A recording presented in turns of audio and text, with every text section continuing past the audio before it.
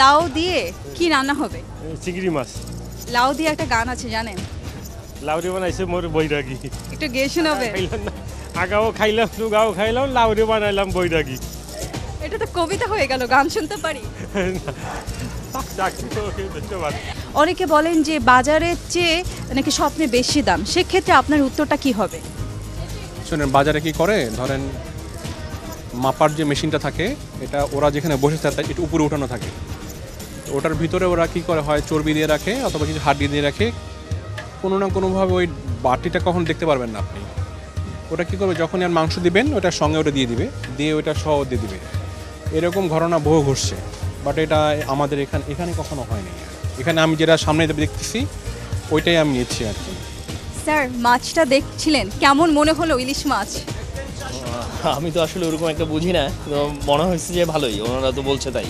তাহলে স্বপ্নের কথা বিশ্বাস করে যখন মাছটা নিয়ে যান যে ভালো স্যার নিয়ে যান বাসায় যাওয়ার পর খাওয়ার পর কেমন হয় সেটা একটু শুনি। ভালো। তাহলে বিশ্বাস করা যায়। হ্যাঁ ডেফিনেটলি চকলেট দেখছিলাম কিনছেন কার জন্য চকলেট? আমার নিজের জন্যই।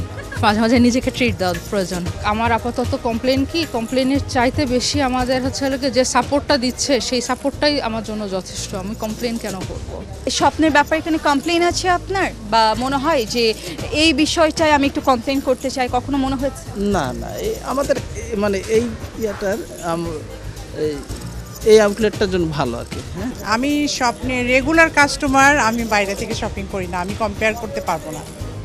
যেহেতু আমি এখানে আসি এখান থেকেই কিনি। হ্যাঁ খোলা মার্কেটে কেনা হয় না কম্পেয়ারটা করার সুযোগ পাই না। তার মানে আপনি এখানে একদম স্যাটিসফাইড হ্যাঁ স্যাটিসফাইড না হলে রেগুলার আসতাম। আর মাছের যদি আমি বলি কোয়ালিটি আর ফ্রেশনেস স্বপ্ন সবসময় তাজা মাছ স্টোরে দেয়। তো আপনি সেক্ষেত্রে কি বলবেন? না বেশিরভাগ ক্ষেত্রেই স্বপ্নের মাছগুলো তাজা। বাইরে থেকে কি দাম কম না দাম বেশি কি মনে হয়? Same same. দেখা যাচ্ছে যে আমাদের কাছাকাছি হলে সুযোগ সুবিধা একটু ভালো বলে সেই জন্য দেখা যাচ্ছে আমরা সরকার থেকে করি। মরিচ পাঁচ টাকা চালিয়ে দিব আর অন্য জায়গায় দেখা যাচ্ছে গুলশানে দেখা যাচ্ছে পঞ্চাশটা নিচে দেয় না মরিচ। এক পা নিচে বিক্রি করে না।